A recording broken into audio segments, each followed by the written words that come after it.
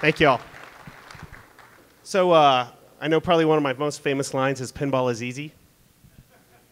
Anyone still believe me on that one? What about y'all up here? Okay. So pinball is easy is just everything that goes into pinball is complex and hard. So uh, we'll talk a little bit about that tonight. First off, we thank you for uh, coming out and supporting, uh, you know, Pinball Expo here um, in Illinois, and uh, I'm thankful to be um, uh, joined here by a lot of great people. Um, and uh, we hope to give you uh, little insights to what we're doing uh, in the same way that I have up till now, and that is not to not to give too much away, but uh, I hope leave with you a sense of passion that we have behind the scenes at Deeproot. Um, and um, and with that, let's sort of get started. And the first thing I want to talk about is the people that aren't up here. Um, we have tens, maybe even scores now. we're hiring so fast of people behind the scenes working very hard. Um, they're all rock stars, and you will know very, very soon uh, how much of rock stars they are and all the innovations that we have coming into the entire new Deeproot standard platform that we have for pinball. Um, you might know a couple of the people up here. I'm going to let each of them introduce themselves. Um, but uh, I want to kind of introduce a couple of, uh, of, people that are not up here. Uh, we have some uh, Deeproot people over here uh, Sean, Craig, Daniel, Patrick uh, who run a lot of the, the leadership behind the scenes. Um, we have um, Stephen, our head tech, uh, back in Texas, leading all the technicians and getting all the prototypes and what's done, getting the quad assembly or octo assembly, however you want to look at it, uh, all set up and going and ready for us to start manufacturing here very quickly. Um, and then we have our uh, creative studio in Utah run by uh, Nate and Johnny. And um, we have some of the most amazing talent, uh, people coming from uh, feature films um, coming from AAA video games that are going to uh, blow your socks off with the quality of, of sort of the video and animation and audio uh, that we're going to be doing. We also have David Thiel. I don't know if, I don't know if David's in here or not. I didn't get to, ah, there he is. Thank you, David, for coming. Uh, we also have a, another pinball audio artist uh, in, in the creative studio in Utah named Lance, and so we're very happy to have all these, these great and talented people. So with that said, let's uh, get to some quick introductions uh, and um, then we can get to some questions. Barry, why don't you start us off and we'll go down the line. Well, I'm Barry Oursler, and I spent 26 years at Williams working on games and a couple years at Highway working part time, designing a few games, and then moved down to Texas in January to work for Deeproot, and I've got several games in the process right now.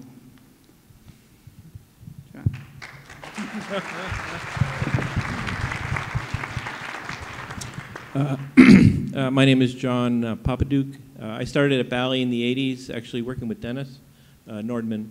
And then over at Williams, I was able to work with um, a really talented group of designers and artists, programmers, management. So I got through some games, Circus Voltaire, Theater Magic, World Cup Soccer, um, and continued on in pinball. And um, currently, I'm at Deeproot, um, uh, working on some uh, very cool secret uh, projects, some not so secret. And um, we continue again the next cycle of uh, pinball making. Uh, so I'm Quinn Johnson. Uh, so I am the the in-house writer. I work on design, characters, voice lines, that kind of a thing. Basically, just trying to help the the experience of of these awesome games um, really be very interactive, very engaging for the player. I came from a background writing for uh, comic books. Started off writing for uh, the Teenage Mutant Ninja Turtles comic book, and then some others since then. Worked on uh, the Disney Infinity video game series and kind of did story and level design with that. And now I get to work with tons of incredibly, amazingly talented people and pinball legends, and it's just it's just crazy that I work in the same place and they bring in donuts sometimes, and I'm like, this is these are famous people, and I get to eat their donuts. So that's cool.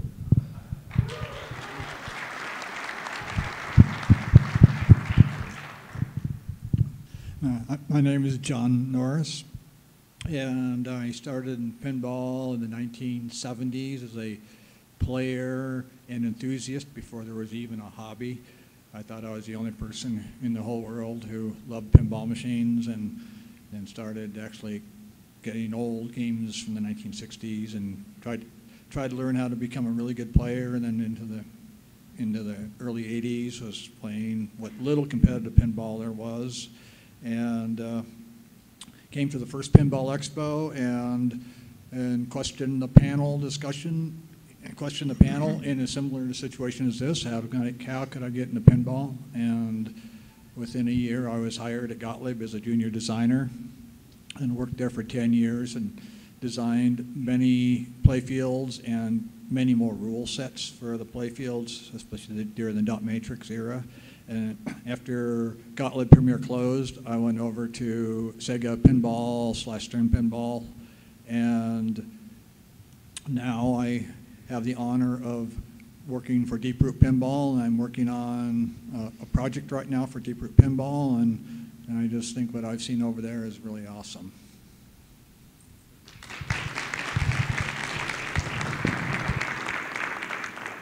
And I'm, I'm, I'm Dennis Nordman, and I've been, been designing games on and off for the last 30 years, I guess.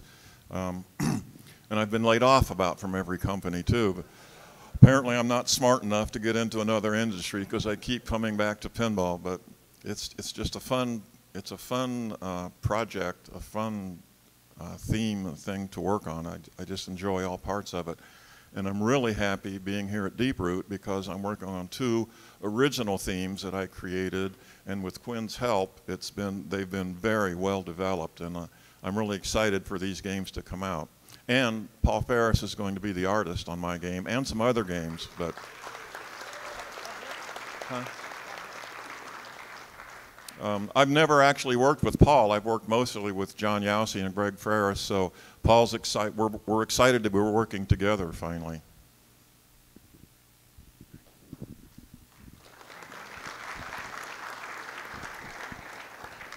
Uh, my name is Stephen Bowden, and I've been a pinball league and tournament player since 2004, I believe. Currently ranked top 12 or 13 in the world for in the IFPA for those of you who care about that type of thing. Um, and my uh, involvement with league and tournament play has really gotten me um, enthusiastic about rule sets and how they interact with each other, and as far as multiple layers for the beginner, the intermediate, and the advanced and tournament player, just like those tournament players who are fighting it out down the hall right now to try to qualify. Um, so and uh, yeah, the, what's, what's what's what's been going on here? Just it's it got this Jersey boy to move down to San Antonio. So it's, and it's my honor to be up to be up on this stage with you with you with you gentlemen. And uh, just the thing, last year I was sitting right where you are, and now I've crossed the Rubicon. So uh, and it's the best decision I've ever made. I think. Yeah. Thank you.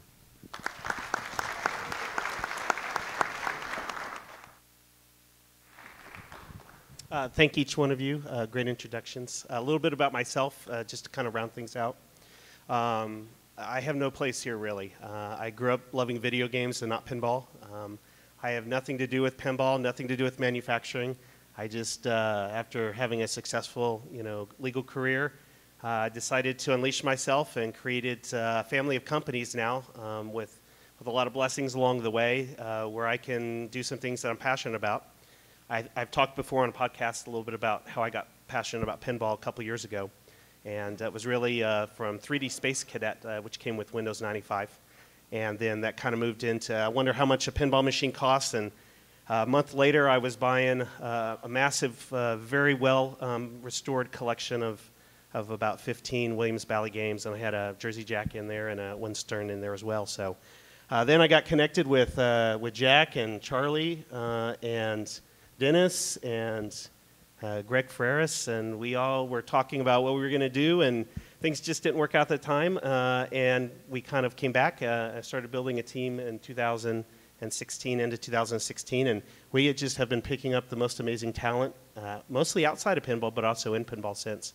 And uh, I, uh, I can't wait to show you what we're doing, but unfortunately, um, we're going to, to need a little bit longer to get things the way that we want them. And um, uh, we will be on time. I know there's a lot of talk about that.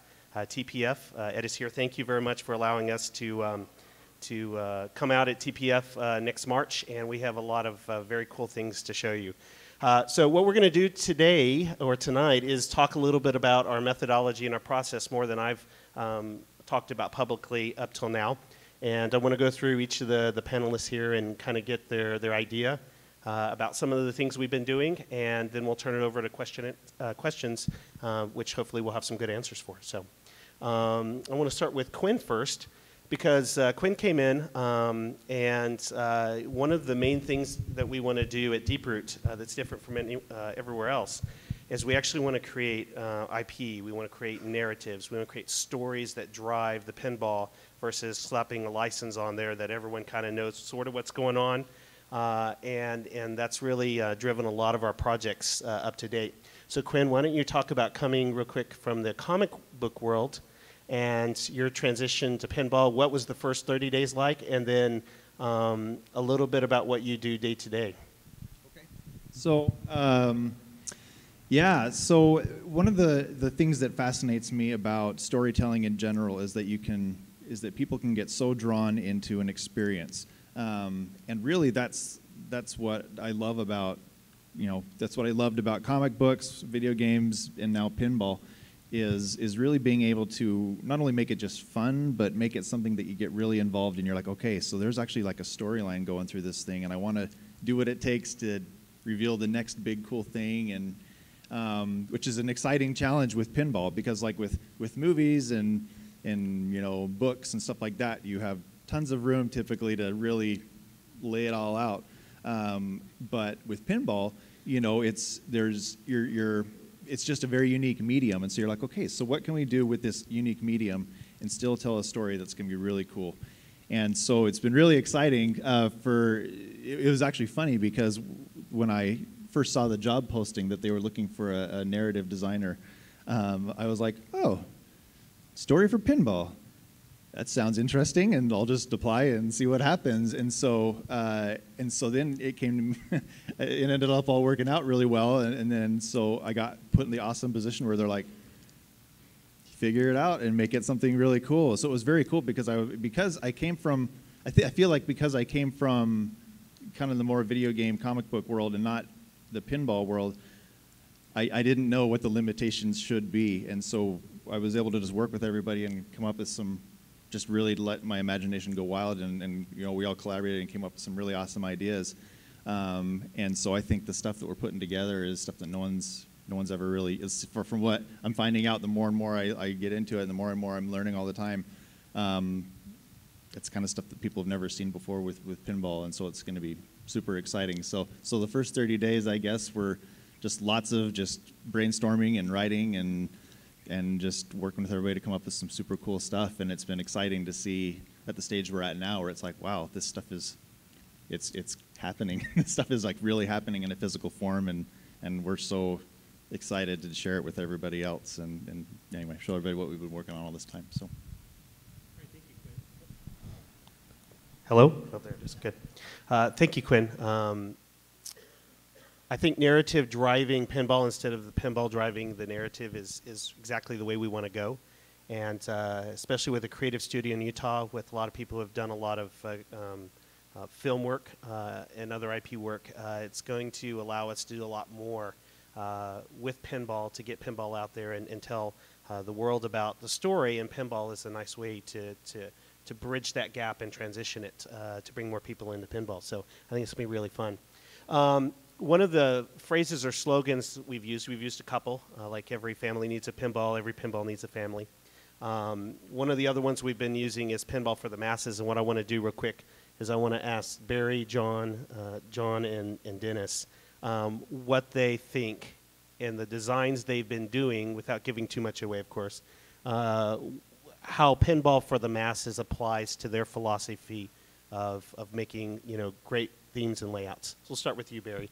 What, what, is, um, what does pinball for the masses mean to you when you're, when you're designing games?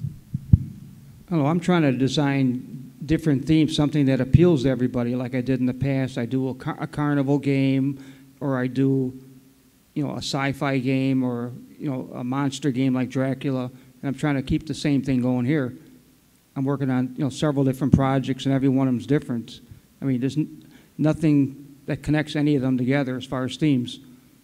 So, I mean, something that would appeal to everybody, to the masses, I guess.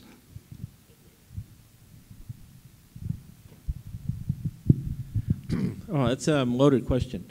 Um, So those of us that started in pinball, uh, the, the games were designed to earn money, to, to coin drop, coin box.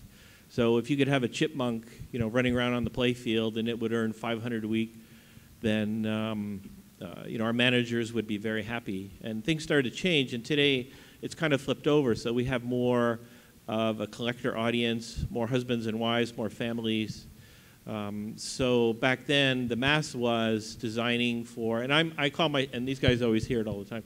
I'm kind of like a middle of the road designer. So I, I don't have all the high end, or I won't put in, a, you know, initially all the high end rules and, and super combos and all, you know, those types of things. Um, and I'll, I'll come up with a vehicle, or on the team, we'll come up with a vehicle, something to, to get the game started. The player understands after playing a game or two what they're supposed to do. So, so and, and I, and I think that's a Nintendo philosophy.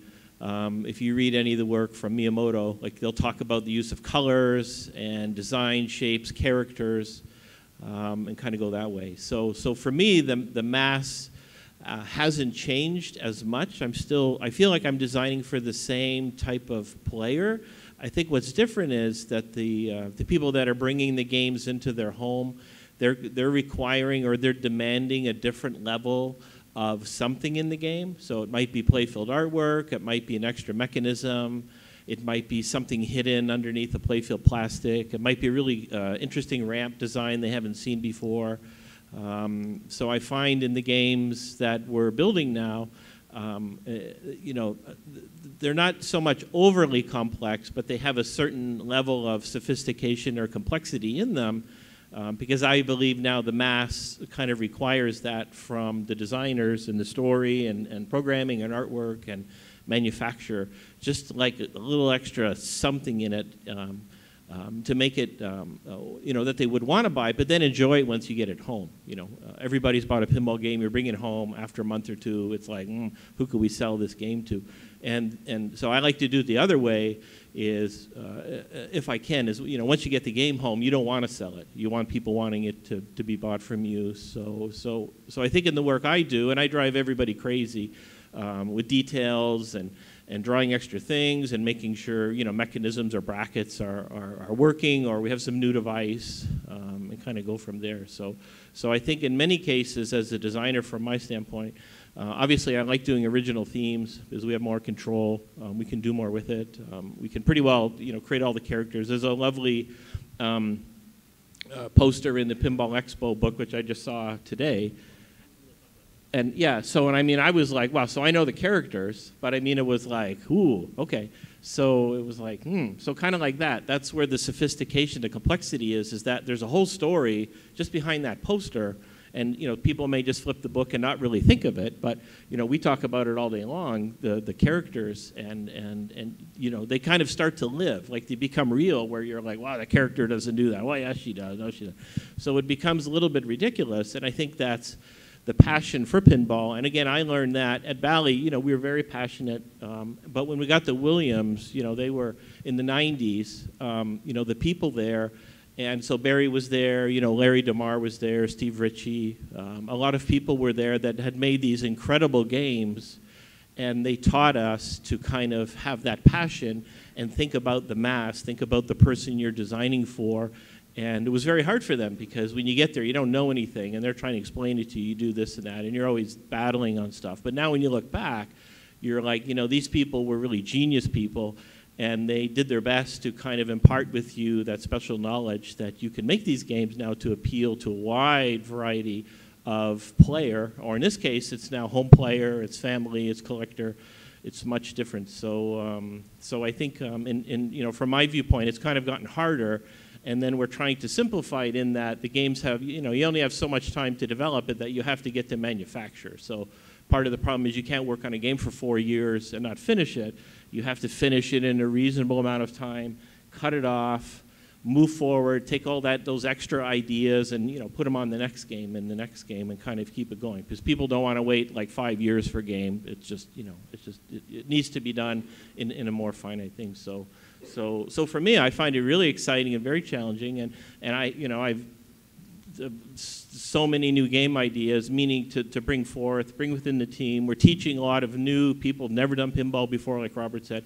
So kind of the way that I was taught, and I, the term I use is hands like wood. You come in and you have hands like wood. You can't do anything. You're kind of hopeless case.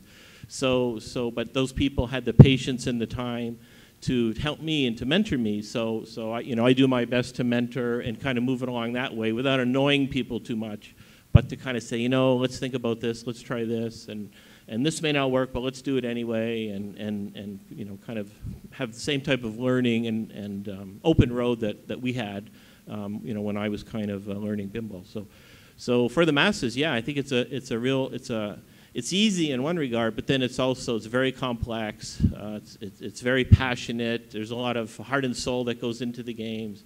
Everything that you do, you really feel it. Oh, you know, they move the post over. They they want to rename something, and it's like, oh, why are they doing that? But you know, you just have to kind of let it go because everybody has the same passion on your team, which you forget. You know, you're not the only passionate person. It starts from the, the top of the company all the way through.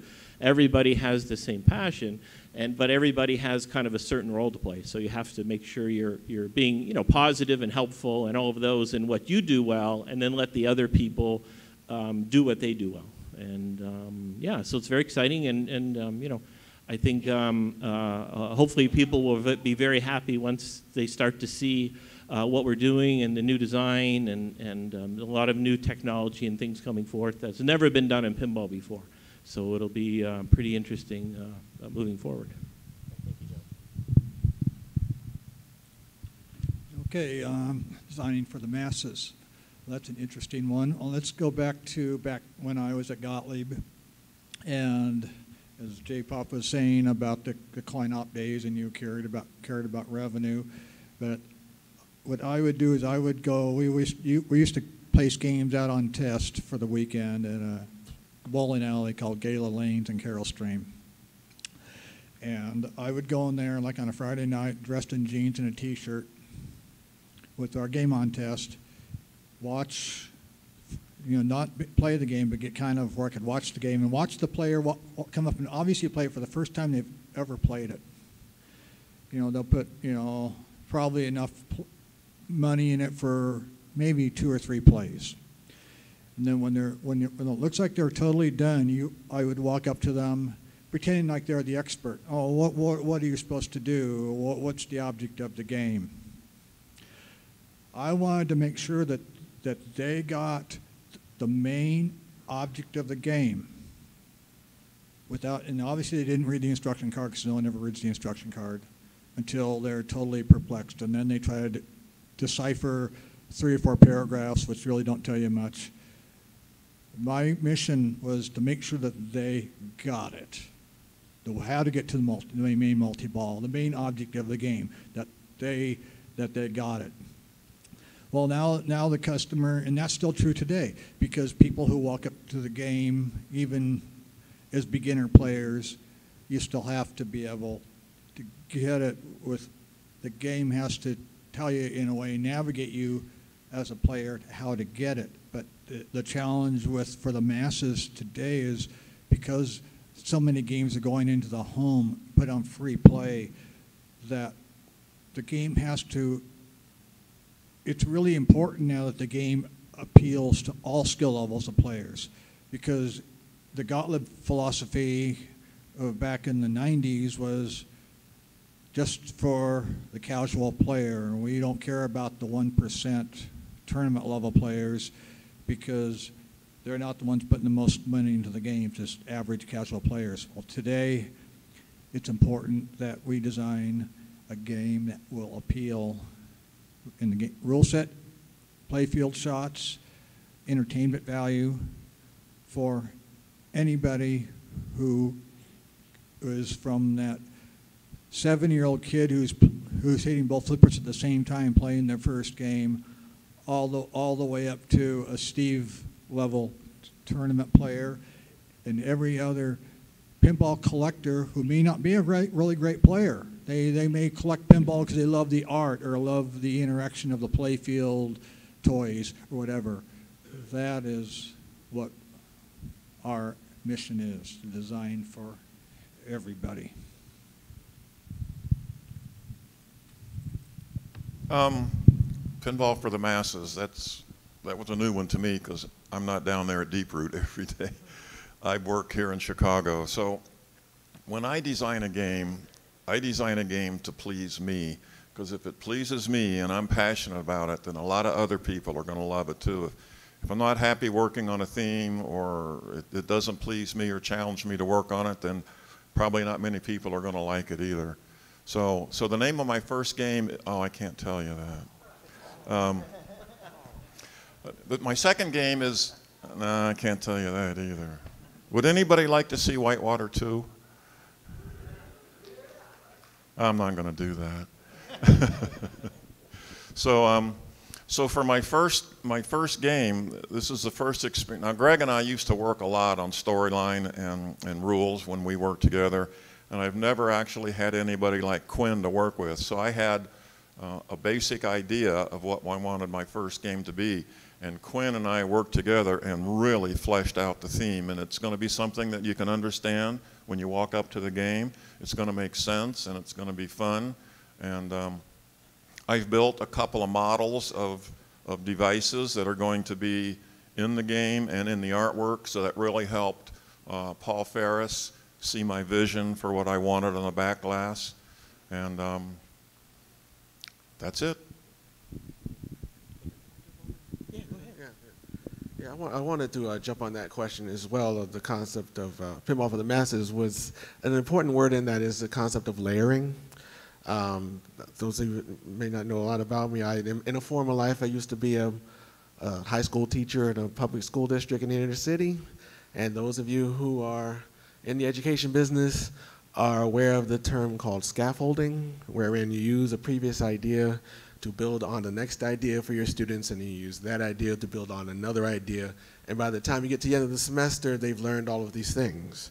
So, in the sense that builds a sense of layering, so that you can uh, you can have a spot for the new player to jump on, ride your story to the end, so that they become more of a veteran player, and also have the depth, so that the veteran and the pro player, like like myself, will be able to want, want to show the effort to work through the entire story. So in that way, providing multiple junction points to get onto the story so that all types of players will jump on, stay motivated, buy, purchase, put more money in, and, and so forth. So that's how, that's how I'm seeing it. Thank you, Steve. I really appreciate that. I was actually going to follow up the next question for you.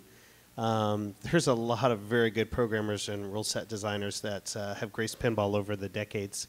Um, and I can only imagine how daunting it was for you to come outside of pinball in many ways, pinball design, uh, and come into uh, a unique environment uh, with a lot of um, a lot of questions uh, until you came down uh, and saw what we were doing, and to just jumping on rule sets. And I, I can I, I think I posted on Pinside, and I'll state it here is that I don't think uh, the pinball world's ever seen a rule set designer yet uh, at the level that Steve has come in and just pounded things out. I'm I'm I'm very grateful that that you took a plunge and came down to Texas and, and joined the team and and the interaction. Uh, I guess what's one of the big things that a lot of uh, the panel members have talked about is is really Deeproot is about collaboration. We don't want people going off and and locking themselves up and having secrets internally. Uh, it's every day. It's just a constant collaboration between a lot of different people, even with Dennis and John, and, and and John as well. Not uh, not being there um, all the time. There's still a lot of collaboration back and forth about it. So, and, and coming in, uh, Steve, then and, and, working on rule sets. Um, and uh, and kind of having a wide open territory. What philosophies did you kind of come to terms with immediately um, about how you were going to start that very daunting task? So. Testing, yeah. When, I came in, I, I knew it. I had to hit the ground running. I mean, especially the, you know, when, when I was anticipating my arrival at, at Deeproot, and then when I came in, and maybe I can talk about my first 30 days. That's, that's essentially what it's been.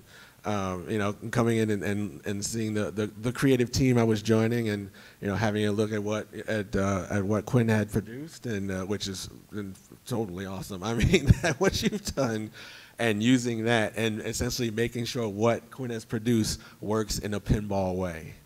Okay, and so that's basically as far as I'll go with that. So, the, um, those of you I know kind of understand what that means. I mean, there's certain things that uh, you can do that, but you have to boil it down to: can this work in a physical environment, and then still go through the story as that we want to do. okay, so that that in that way, you know, trying to make sure that I formulate the plan to also follow what we want and also make it work so that it will work and make sense as you play the game because at the end of the day, the, the player has control of the ball, so they have control of the story, really. So it's their dollar, or, or it's their whatever they spent for the game. So at, at that point, it's their story at the end. So that's that's really. Is it okay if I jump in real quick and just comment Yes, on what he but said? I'm, I- I'm going to tell a quick story about that before I forget, then I'll have you jump in, Quinn. Uh, absolutely. Uh, so I'm not the best pinball player, and I think a lot of us at Deeproot uh, are very, um, we're very embarrassed uh, that when Steve came in, all the high scores were suddenly all gone. Uh, in fact, I haven't invited Steve over to my house yet to play in my pinball machines uh, just because I don't want all my high scores gone. And uh, there'll probably be nothing to you. But anyway, one of the first things that, that Steve taught me in, in how to become a better pinball player was uh, it's your ball, uh, don't waste it, right? And so holding on the flippers and patience and stuff. And uh, it, it's a perfect corollary to uh, the type of rule sets and, and narratives we're working on is to allow the user finally to be able to get into that immersive world under glass, as it's been often called, uh, and to become a part of the, the narrative and story as well. And we're doing some really cool mechanical and electrical things as well as some rule set and uh, audiovisual things to, to immerse the player even more. Quinn. I was going to say it's just really really cool. I mean, it's, it's awesome working with everybody, but but I share an office with Steve, and we're talking like every day, and I'm just like, I love working with this guy because he's just so cool and so friendly, and I love how he's like, like he said, he's taking all this, all these ideas that I've been working on for all this time, and then he's taking them and saying, and now we're going to translate that into all the details of like this, this, this, this, this, and it's so funny because he he totally has this. I'm surprised that your brain isn't like five times bigger than it is because you have so much pinball knowledge in there. And he's like, and he's like, oh, then we could totally do this and this, which reminds me of this other thing and this and this and this, and then the math could. And I'm just like, I believe everything you're saying. I don't understand, but I believe that it will be awesome. Um, and so it's just really, really cool. Another thing that I've learned from Steve about playing pinball, because again, this is something that I was starting to get new into. I was always raised with the idea that you don't shake babies and you don't shake old people, but I'm learning that it's okay to shake pinball machines, and that's actually how you win if you can shake it skillfully. And uh, and he's amazing. I actually wish that there was a tournament for people that could drain the fastest, because then I would be the champion and not this guy. So Quinn. Um, I think that goes to show that you don't have to be a really good pinball player to be a good designer because I've seen what y'all have done behind the scenes. Uh, and uh, can't wait to, to show the rest of y'all. Um, real quick, uh, we're going to kind of go through one more uh, kind of big question. And for everyone, I'll let everyone give a sort of a brief answer, and then we'll get to questions. Um, and uh, uh, so, what I want to ask uh, each one of you basically um, how are you designing pinball differently? Um, so for, for the we'll go through the four designers first. How are you designing pinball differently now at Deeproot than you did uh, prior with other companies? And you might list one or two just just brief things that that are different in, in your philosophy and in actually designing it. And then I have another question for, for Quinn and Steve. Barry, you want to go ahead and start that? How has Deeproot, uh, let me, let me do a little bit more clear. How has Deeproot changed the way that you design uh, for, for pinball? I don't get to stay home for snow days anymore.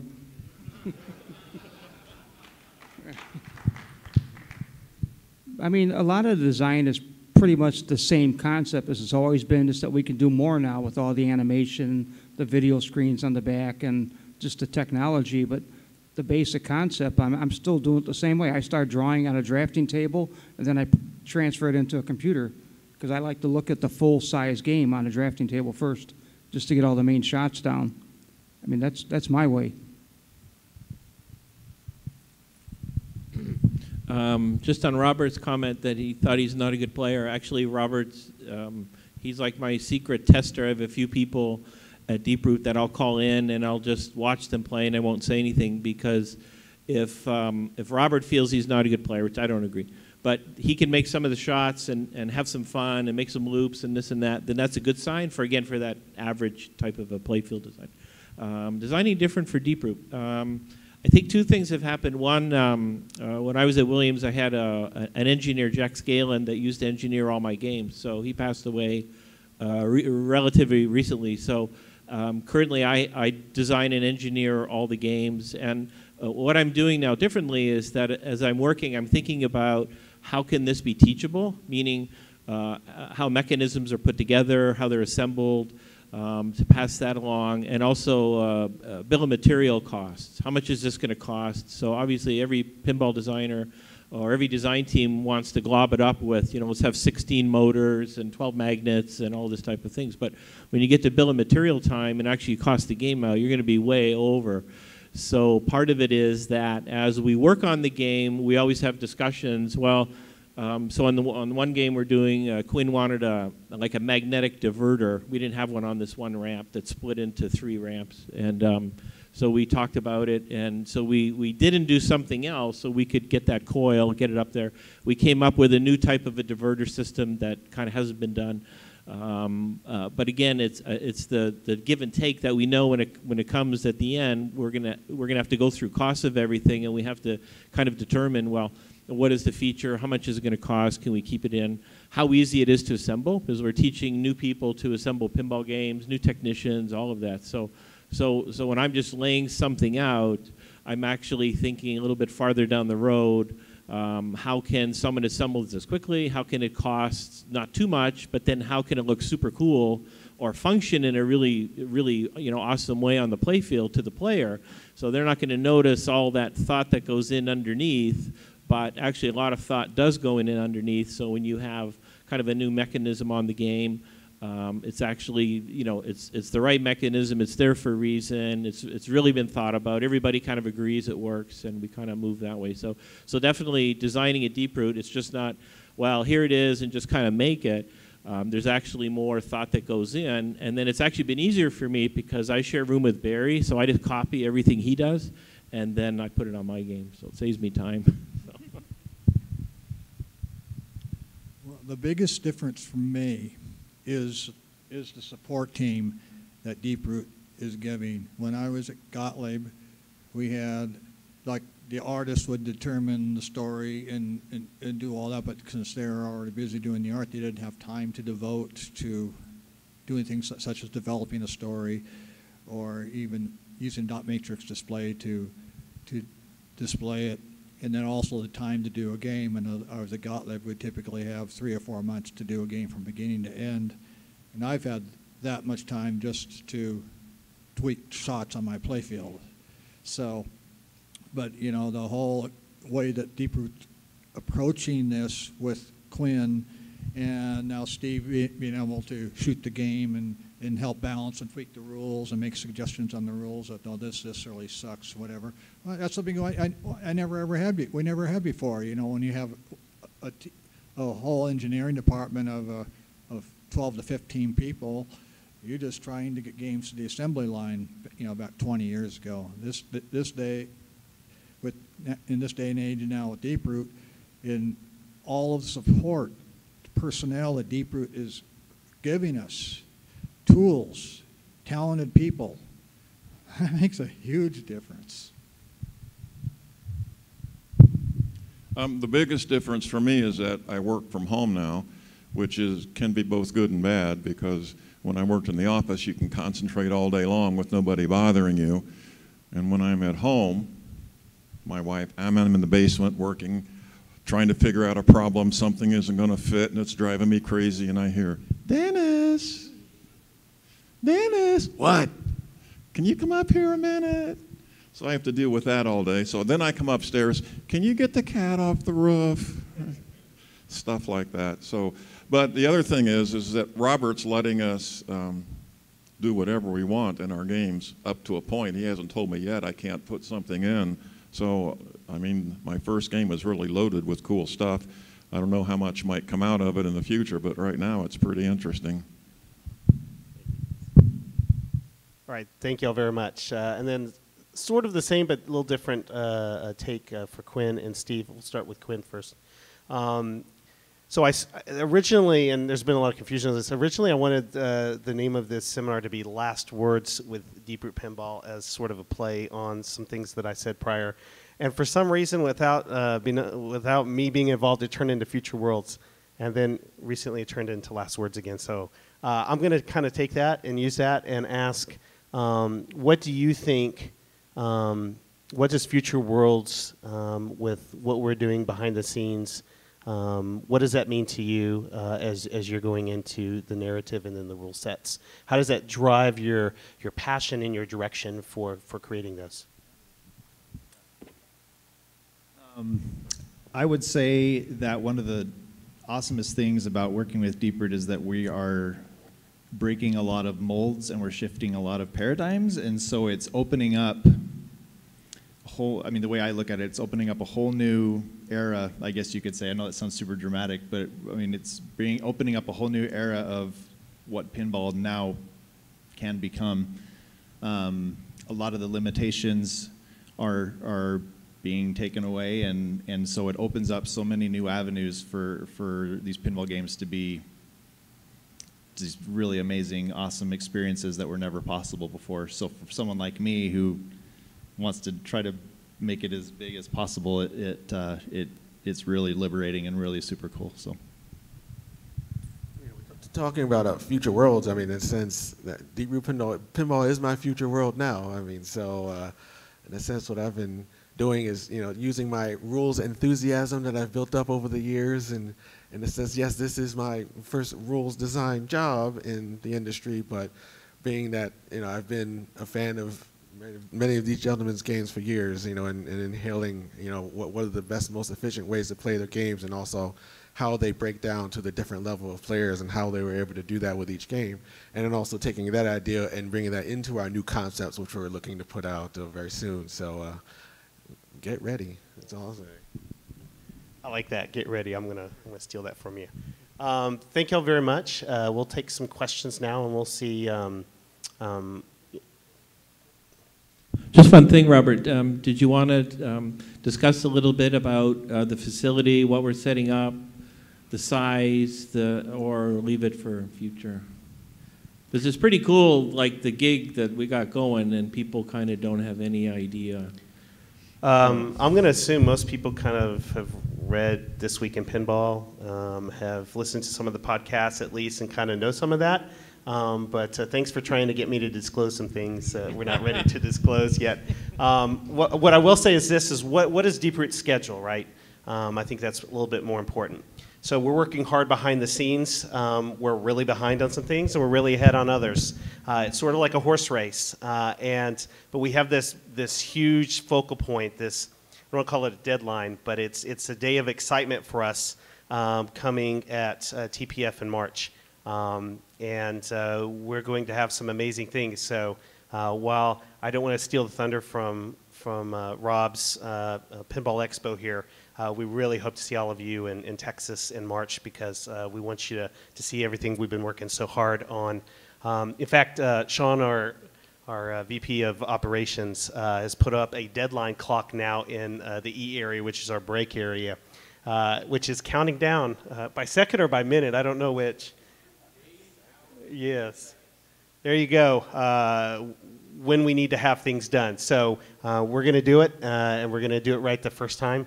And with that, let's take some questions. Daniel, if you want to, we don't have wireless, but I think we have a microphone that at least reach a little bit. So.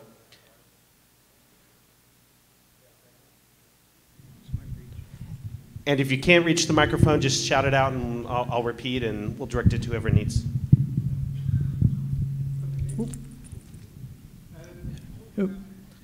This is probably for the designers. Uh, So we've heard a lot of talk just now about more of the cerebral side of pinball, but you have all worked with some great mechanics people in the past. Can you talk a little bit about uh, where you might break new ground in mechanics or some great mechanical people you have on the team right now? Any?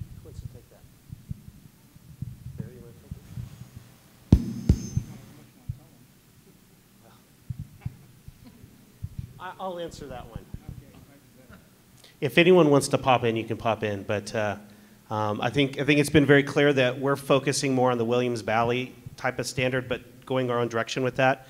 Um, I think each one of the designers has put a lot of effort without any thought to cost um, or complexity into uh, a lot of different um, a lot of different mechs.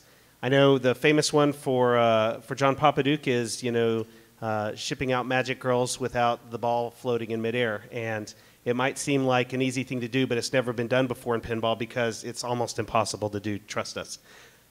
Until Deeproot got their hands on it, and uh, I'm very, very happy to say that we have a, a very good solution to that, and uh, it's really good. But it's no different than each one of the other designers. Uh, I think each one of the games now has something never done before in pinball.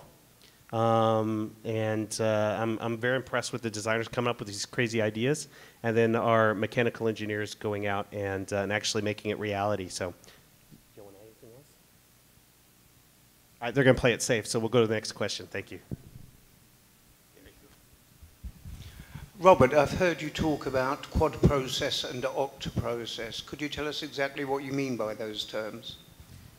Y- yes and no. Um, first, um, they're cool terms, uh, but they do have uh, realistic meaning behind the scenes, and they have to do with how to um, get the maximum efficiency in the smallest amount of space.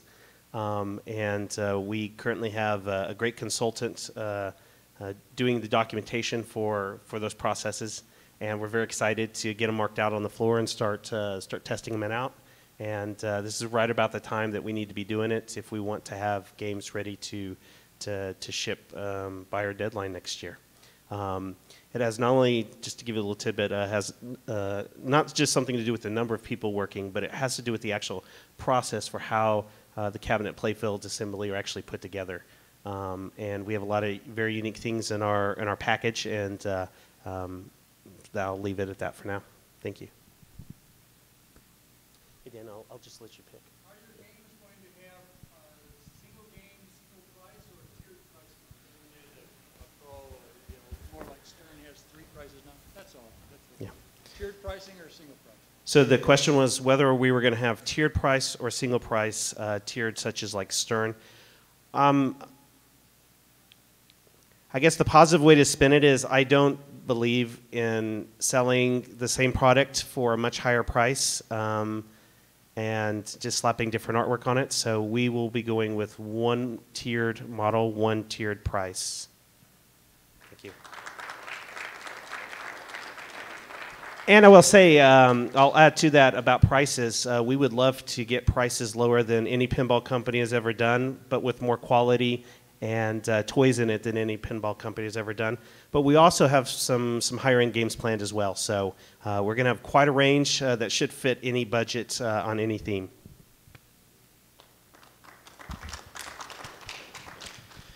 My question is for Quinn. Uh, so you've done comic books and so forth. So my question is, now you've actually probably seen some artwork from Paul Faris on your work. So can you comment, not telling us anything about it, what do you think of Paul Faris and his artwork, and what do you think about it? really, really good.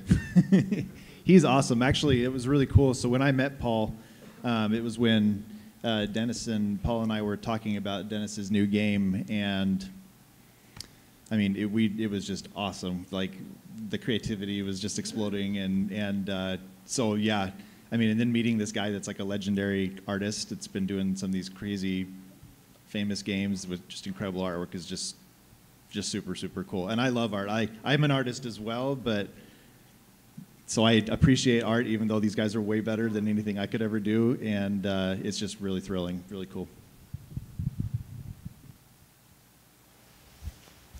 I know that uh, you're trying to reach the deadline of uh, TPF, but um, are you going to have game multiple titles available for sale by your deadline date of June 30th? Yes, we will release more titles in 2019 than any pinball company in history.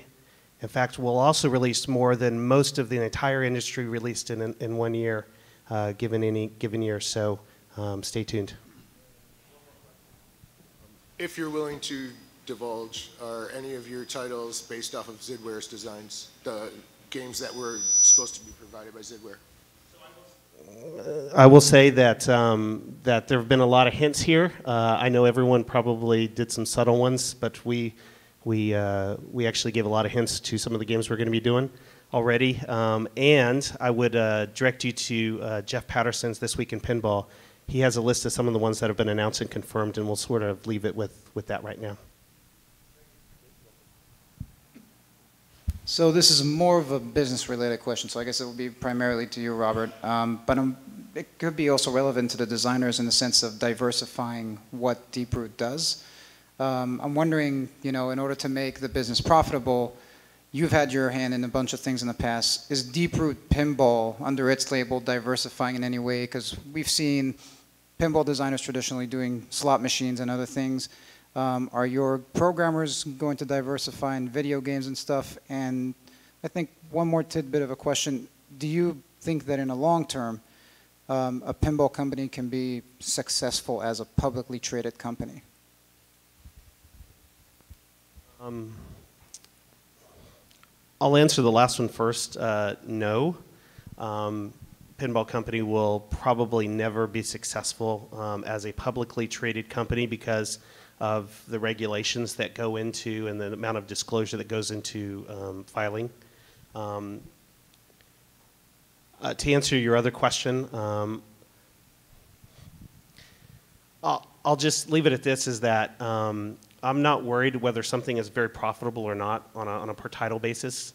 Um, the way we've designed everything internally is that any pinball machine sold will be profitable uh, internally and that gives us uh, a lot of um, room to deal with not worrying about BOM costs and, and things like that, and to, but still to give the best bang for the buck uh, for y'all who are going to be spending a lot of money on these games, and you deserve to get the most value possible for every dollar you put into it. Uh, it's a very different concept, um, and I think uh, very shortly you're going to start seeing uh, why it's not going to be whether or not you know um, it's Deeproot or something else. It's like uh, it's more going to be more of a question of why would I not buy a Deeproot machine with the value in it, uh, even if I happen to like the la- latest you know theme or license from another company. And so we want to make that value argument uh, to, to each and you and, and everyone else in pinball. Or oh, just to add, uh, I worry about BOM cost always.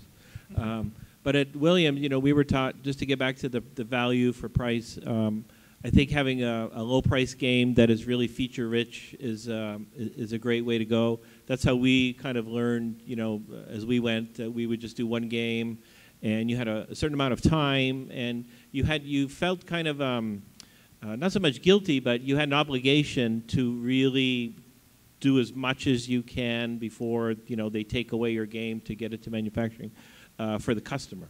Um, so I think um, I, I can't, I don't my brain doesn't work. Like, how can I design a game but take that part off and then charge the person more later to put that in?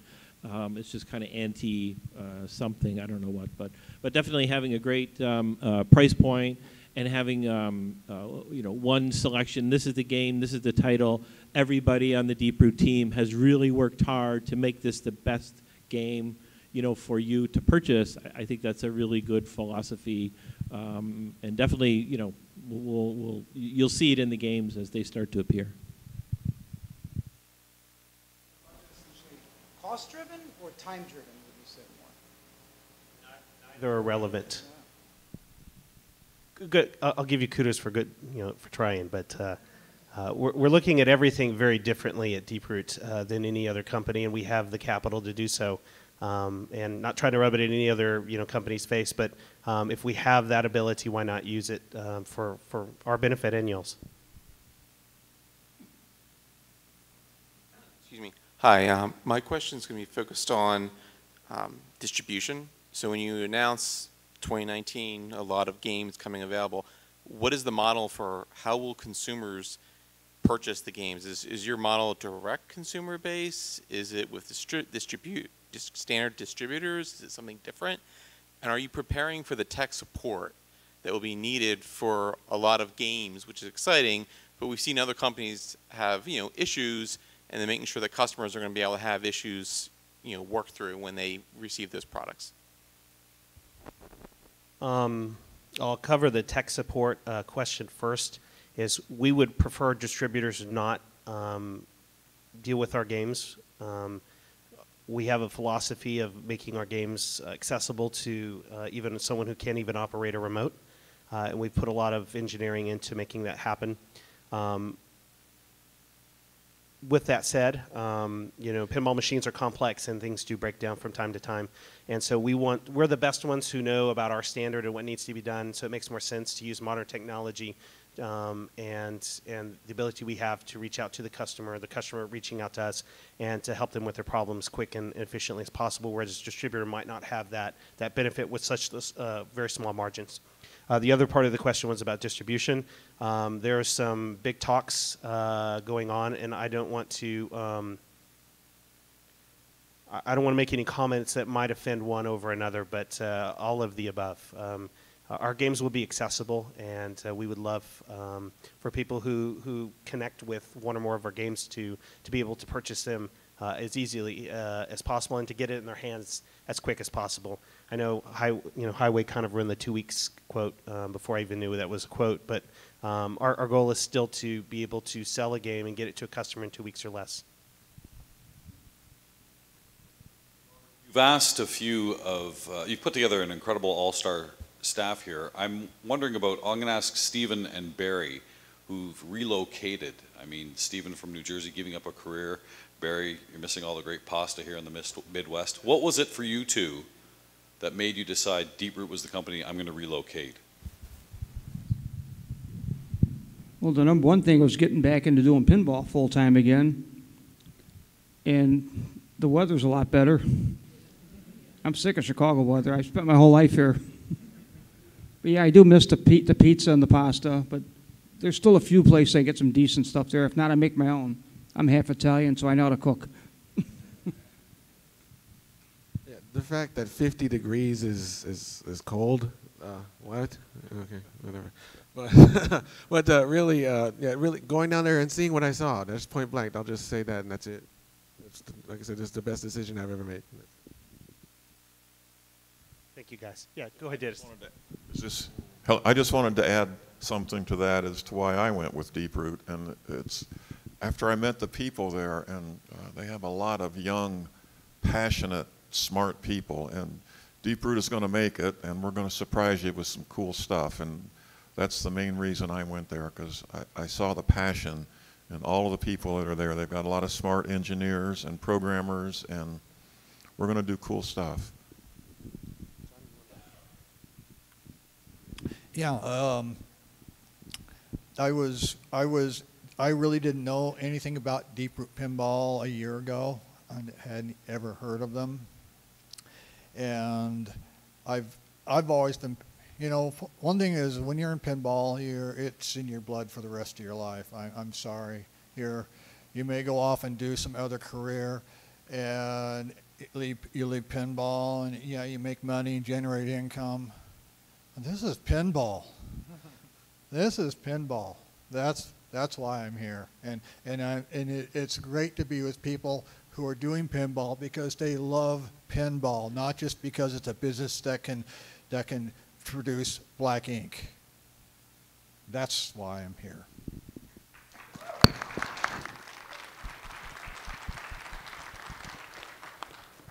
Thank you, John. To be in, interchangeable, like let's like like the Pinball 2000 series from from Williams. So you have one cabinet you can you can put uh, like for each new game you can just swap out a play field into it. No, there's not going to be any gimmicks in our in our uh, machines.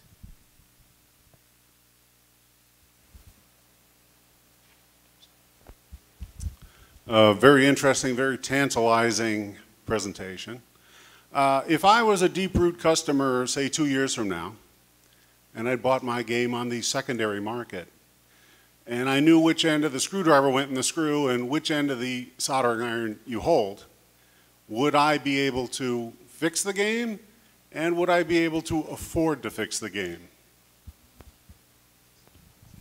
Uh, I'll answer the same way I did before, and maybe add just a, a little extra. Is that um, we've spent a consider if if all we had to do was just take what everyone else has done and spit out a pinball machine, uh, et cetera, whether it's you know one of John's games or the other games, we would have already launched a long time ago.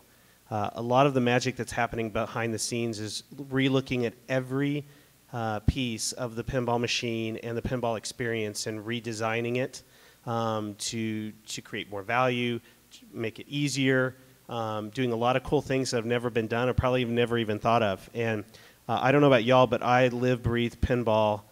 Despite running 17 other businesses, I, I live, breathe pinball 24/7.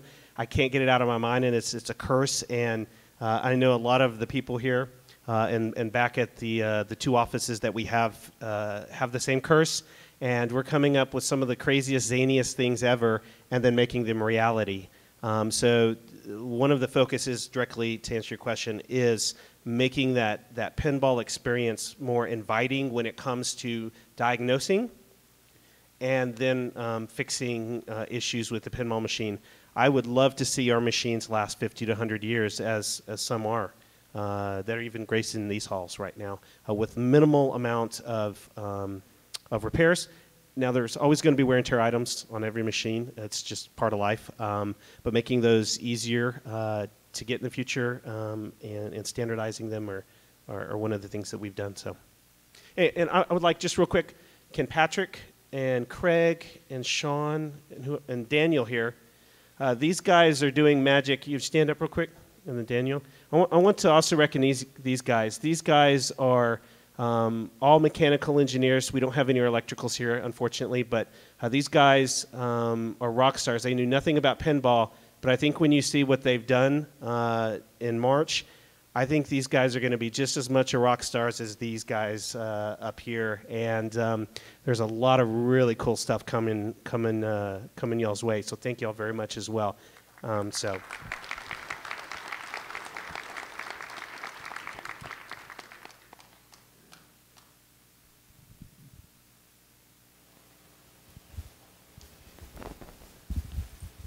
Um, Robert, you'd mentioned that, uh, just, just kind of follow up to the previous question, um, you'd said before something along the lines of you could take a sledgehammer to the playfield, it's not going to break.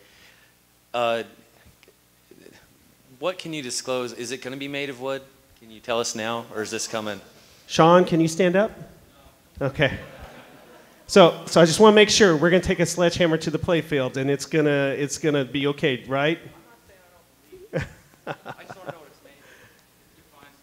Yeah, define sledgehammer, right? De- define substrate. So Sean, this is Sean's pet project, uh, and I know that he had a he was quite surprised when I said sledgehammer. Uh, maybe it was a little hyperbole, maybe not.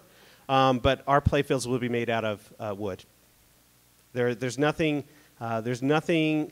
The problem with going a different substrate for the playfield, it changes everything else about the gameplay and maintenance, and it introduces a whole lot of other problems. Uh, and that's why wood will probably for a long time uh, be the, the surface that, that pinball machine playfields will be made out of. Good question. I got a question about the electronics in the game. Are you designing your own boards, own circuit boards? Are they uh, surface mount technology, or is it the old through hole? Um, who, is it somebody that is designing your boards in the pinball community, or was it uh, a new entity? There's nothing novel about anything in pinball. Uh, pinball um, is basically just uh, a hunk and heap of a bunch of different parts that uh, many of them could be used in many other industries. So um, there's nothing special about having anyone in pinball design boards. Uh, and in fact, what I wanted to, to create a team was, was with people outside of pinball when it came to that sort of stuff. Um, designing, a little different. Uh, I'm, I'm very uh, grateful to have the great pinball, legendary pinball designers uh, who I just want to say are not old and washed up and they only came to Deeproot for a paycheck. Uh, I see every day that these guys are passionate. Uh, they'd be here for free um, uh, if, if it really came to that, but it's, it doesn't, so we're good. So about boards, um, our electrical engineers, we have some amazing ones. Josue and Matt are, are, the main ones, and we have some, some techs. The reason why when we talk about the five days of Deeproot, we will go through the entire process for, for that, and it'll be very entertaining uh, on where we started and where we ended up with all of our electrical system. I'll say this for now is that we will have our own boards. Um, there's not going to be anything crazy about them. It's going to be very simple um, for uh, the end user, whether they know anything about electronics or not, to maintain them uh, and upkeep them, and they're going to be very reliable. Uh, that's why we just um, uh, recently, as Jeff announced in his um Deeproot tour, uh, we just put in an SMT line because we want to make sure that we have the best boards available for our pinball machines uh, and, and make sure that they're right the first time. So.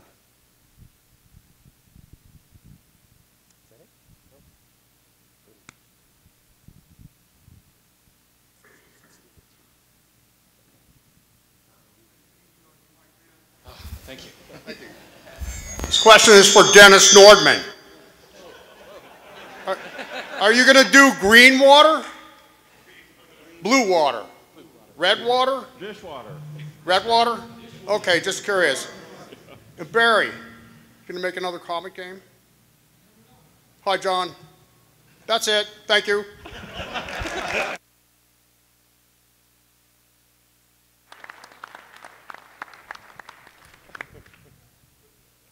Thank you, Steve. I haven't had the pleasure to meet you yet, but uh, I, appreciate that levity, uh, um, et cetera. So, all right.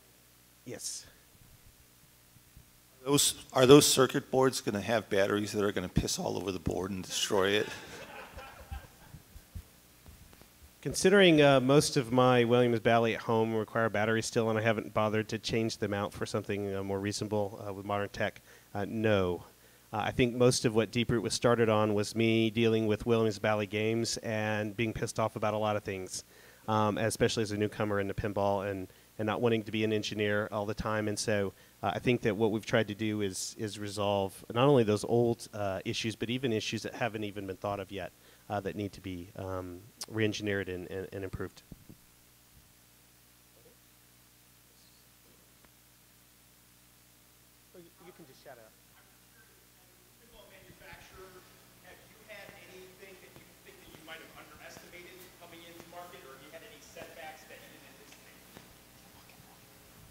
Um, you asked specifically about manufacturing. I think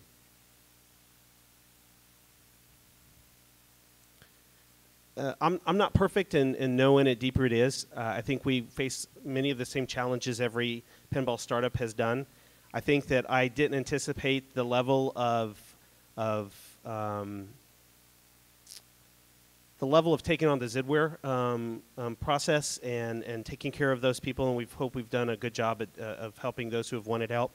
Um, I think from a manufacturing standpoint, um, I don't think we've underestimated anything yet, but we're going to have the same problems every new manufacturer has in getting a line up and going. We're going to have a lot of successes. We're going to have some challenges, and we're going to work through them.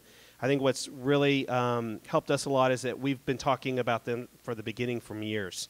Um, and while it's a different thing in planning as best as you can to actually start manufacturing where, where still things are going to pop up that you can't even imagine or, or think of beforehand, uh, I think that uh, um, we've got some great talent uh, in our engineering and technician department. And uh, uh, come rain or shine, when we get to March, uh, people are going to be able to buy pinball machines from Deeproot and put them in their home. Well, um, thank you all very much um, for, for attending. Um, I know we've got another uh, seminar coming up, so we want to do that. I just want to go down the line real quick and thank you all very much for coming on and, and sharing this uh, great journey by Deeproot. I'm going to give each one of you maybe, what, 30 seconds? And um, with any last thoughts, uh, if you have any, or, or maybe not. We're going to try to make the best damn games we can, so come March, get ready to buy them. Um, just two quick things. Um, one, it's great to see uh, Rob Berk um, uh, have his show this year and get all his uh, ducks in a row and get everything's organized the way that um, he wants wanted, and obviously to invite us to be part of it. So it's nice to uh, see that, and also. Um, a small anecdote: uh, uh, Barry and I worked together at Williams for seven or eight years. Um, never went to lunch. Uh, he'd go in his room, I'd go in my room. So it's been really a pleasure to work with him. Um, he's um, just an amazing designer. He's done a lot of games um, and a lot of innovation, and he's you know he's um, ready to go every morning and and works very fast. And so it's real exciting to watch him work because I never got to watch him work. I got to watch Steve work a little bit, some of the other designers, but not Barry. So it's been a real treat for me to watch another designer kind of uh, ply his craft. Dennis won't show me anything. So. Uh, yeah, it's just it's just a really exciting journey to be to be a part of this whole thing, and and uh, you know I think a lot of us when we started we had some idea of what we thought we maybe were getting into, and and just to see it become even more amazing is is really is really awesome. It's just really really cool. So. Yeah, and I, I really love the opportunity to work with Deeproot Pinball and all of the talented people who are come from outside the pinball industry. I mean, Quinn, Quinn, uh, uh, I work closely with Quinn on, on you can storyboarding the game, and he'll he'll throw an idea at me, and and you know, I had I had most of the rule the rules set pretty well written for, for the game, and then and when you oh how he what if we work this into the game? No, yeah, that's really awesome. And it's like I'm I'm sitting home like four hours a night or four days to get it into the game, and then I finally get to all my update updated the storyboard, and I'm all excited, and the game is like evolving and going, and that's just something experience I've never ever had a chance to do, and it's it's really great. Yeah, I have uh, similar feelings. I'm, I'm just thankful to Robert and Deeproot for allowing me to do two original themes, which is something I've wanted to do for years and years and years. So I'm really happy to be able to be doing that. Get ready.